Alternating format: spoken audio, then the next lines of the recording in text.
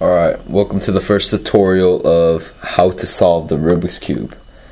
To get things started, you need to understand what the Rubik's Cube is made of. And it's made of three pieces, or parts, I guess, that make up the Rubik's Cube. So this is called the edge piece. The edge piece is located in the middle rows. And these are the corner pieces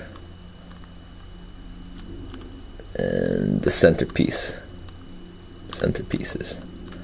It's important to know the centerpiece especially because the centerpiece no matter what you do it doesn't move. You can't move that. So this centerpiece represents the side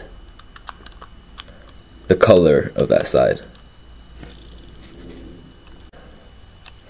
So with this we're trying to in the beginning make a white cross I guess you can start with any side, but for now, I like to start with the white side because I don't know.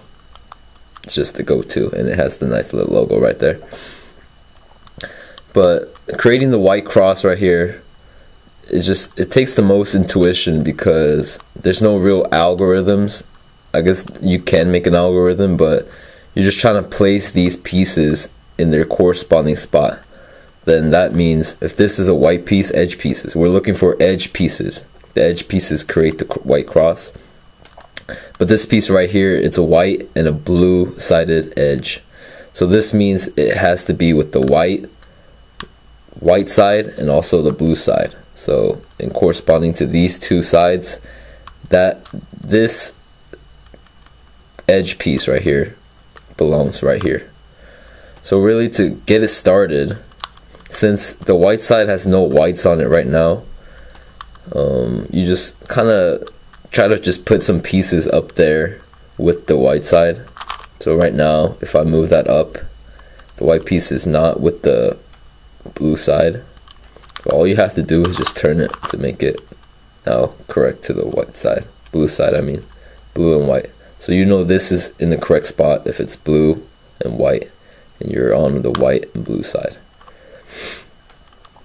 and going further is the easiest thing I think to do to get a piece in the correct spot is just look directly under the Rubik's Cube white side. You're looking at now the yellow side.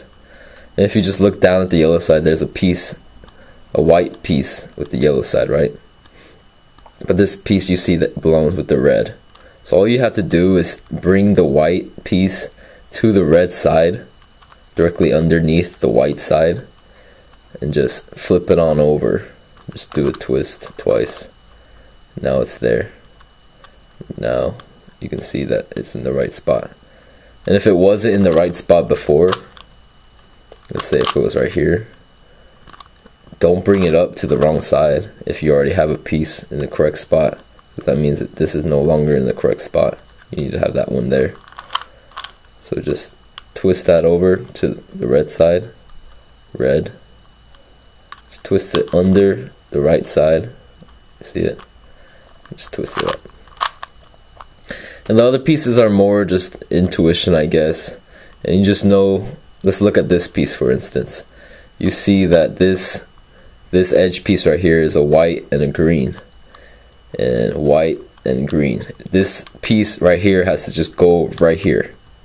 And you just look at it in relation to the pieces that you already have. So if in relation to these two pieces, this piece needs to be right here. So as long as you're across this one and on the right side of this one, you know you're on the right piece. So if you twist this, this may look like it's not no longer in the right piece, but all you're doing is twisting it so you can get it to the right spot in relation to these. So you just have to move it up and just twist it back to the right right spots. Now the white piece is with the green and the red piece is with the red and the blue is with the blue. And wow, it just became easy for us to do because this the orange and the white edge piece is just directly under where it's supposed to be and all you have to do is turn create it create the white cross So after just some practice, you'll be able to just do this easily, and once you figure out the pattern, it becomes much easier.